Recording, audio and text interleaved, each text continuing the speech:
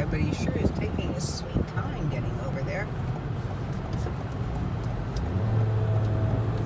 Can you like slow down? Yes, but that's what I'm doing, right?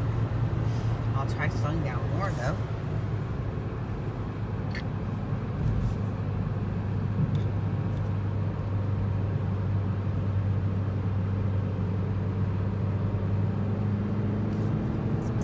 Eighty-six seventy-nine again. Again, was Third that- time gen- generally catching it at night. you saw it at Grand Parkway and where else? No, this No. I'll tell you after my